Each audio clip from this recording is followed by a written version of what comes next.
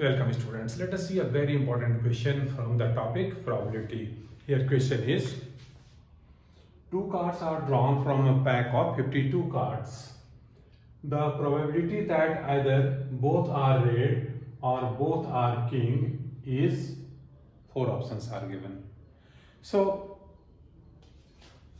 we have to draw two cards out of 52 cards.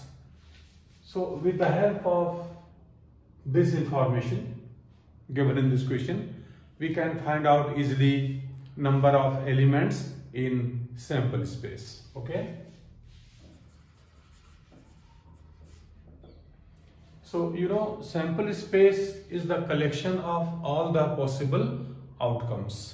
So out of 52 cards, we have to select two cards. In how many ways we can select it? That will be 52C2. We have already discussed in the chapter of combination that this is all the possibilities, maximum possibility of collection of two cards out of 52 cards. So this number will make a set of sample space, correct? So here sample space will be equal to 52C2. Let us simplify it this will equal to 52 factorial by 2 factorial 52 minus 2 whole factorial.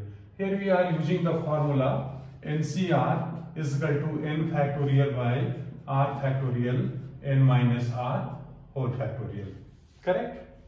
Now let us simplify it. This is 52 factorial divided by 2 factorial into 50 factorial and this 50 factorial will be cancelled out with 52 factorial. So in numerator we'll get here 51 into 52 divided by 2. This is 26 and 51 into 26 will be 1326. So therefore NS number of elements in sample space is 1326.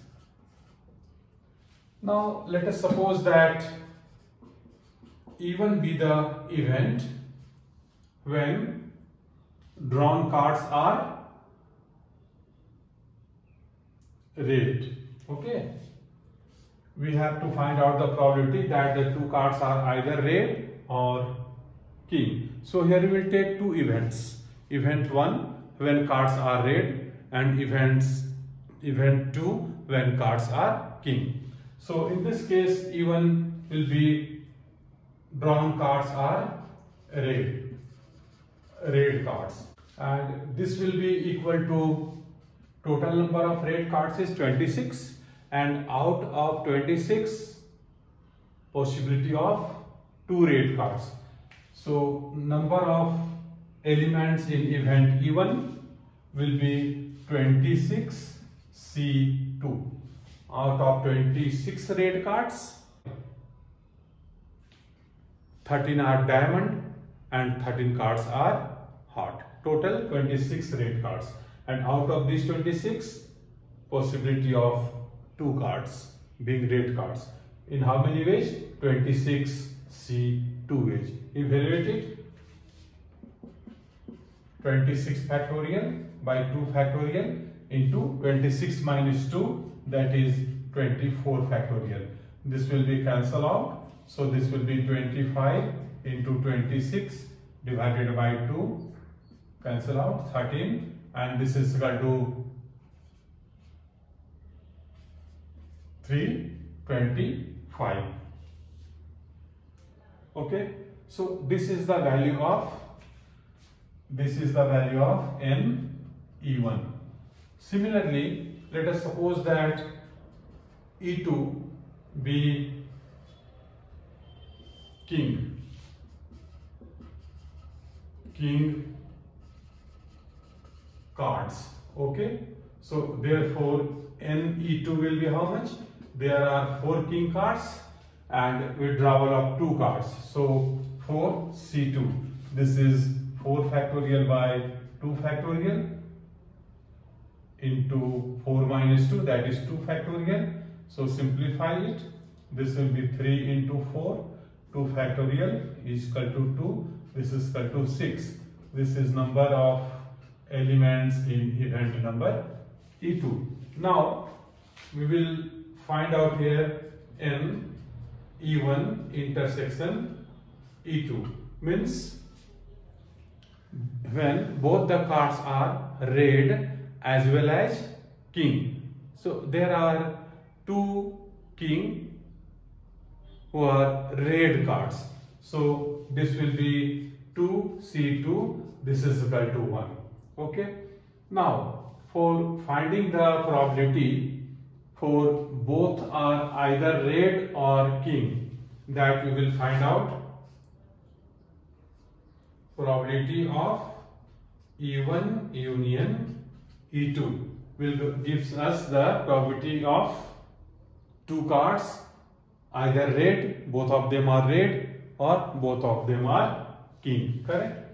So by the formula we can write here this much is equal to probability of E1 plus probability of E2 minus probability of E1 intersection E2, correct? And probability of E1 is NE1 divided by NS plus probability of E2 is NE2 divided by NS and this probability is equal to N E intersect E1 intersection E2 divided by NS. Okay? And NE1 is how much? NE1 is 325. So this is 325 and NS is 1326. So 1326. Similarly, this is equal to NE2 means 6 divided by 1326 minus this one. NE1 intersection E2 which is 1. So minus 1 by 1326. Let us simplify it. Here LCM of denominators will be 1326 and the numerator 325 plus 6 means 331 minus 1 that is 330 cancel numerator and denominator by 6 you will get here 55 divided by 221 so which option is correct option D is correct. Okay, so D is the correct answer. Fine. So in this way we can solve the questions very easily. However, some questions are tricky, but uh, after some practice we can have a good command over this topic. So please remain in touch with these videos and try to get maximum benefit. And if you are enjoying learning mathematics, your likes are most welcome and share these videos with your friends also so that they could also get benefit of it. Thank you very much. Wish you all the best.